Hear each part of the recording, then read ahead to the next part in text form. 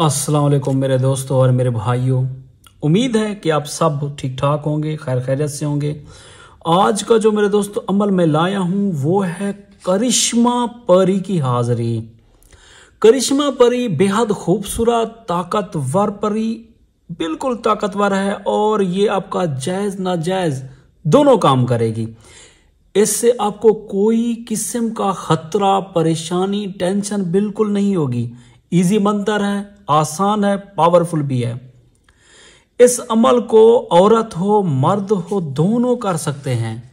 यानी जिस मेरे भाई को इसकी ज़रूरत है, वो ये अमल करे। इसकी कुछ शराइत हैं, वो मैं आपको बता देता हूँ। इजाज़त आपने नहीं लेनी, जक़ात आपने अदा करनी है, एक बंदे को खाना खिला देना है। ठीक है मेरे दोस्तों? अकेला कमरा हो, इसके लिए अकेला कमरा हो साफ़ सुथरा कमरा हो अपने आपके कपड़े भी साफ़ सुथरे हों। तो बाज़ मेरे दोस्त ऐसे हैं जो कहते हैं कि, आया, परी क्या काम कर सकती है हमारे लिए? हमारे लिए अब हम हाजिर करें तो करेगी क्या?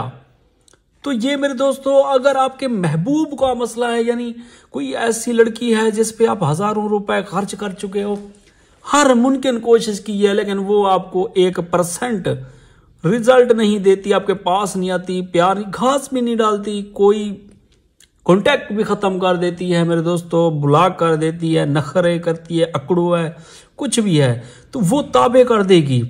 काला जादू, यानी कि कोई भी आपका दुश्मन तवीज़ात आप पे कर रहा है, आपको पता है हमारा काम कारोबार भी ख़त्म हो रहा है तो सब कुछ तबाह हो रहा है, घर में आमदनी का थोड़ा सा भी ज़रिया नहीं है, आप बिल्कुल तंग से तना होते जा रहे हो तो वो अमल ये कर सकेगी। ये आपका हर काम कर देगी, जायज़ हो, नाजायज़ हो, मोहब्बत का हो, बंदिश का हो, शादी का हो, झगड़े का हो, किसी दुश्मन को जेर करना भी हो, तब भी ये कर सकती है। हाँ आपने सिर्फ़ रात को 12 बजे से लेकर 2 बजे तक आप ये अमल कर सकते हो। साफ़ सुथरे कपड़े पहनकर अकेले कमरे में बैठ के 306 बार आपने ये मंत्र पढ़ना है। ये मेरे दोस्तों ताकतवर है, मिस्र का शैतानी मंत्र है, इस, इससे जो परी आएगी, वो बेहद ताकतवर रहेगी। तो मंत्र मैं आपको पढ़ के सुना देता हूँ ताकि आपसे कोई गलती ना हो। ठीक है मेरे दोस्तों, फलंग, मलंग, स्वाहा, ये आपने मेरे दोस्तों ऐसे पढ़ना है जैसे मैंने पढ़ा, अभी के लिए अपने भाई को इजाज़त दें। अल्लाह हाफिज़।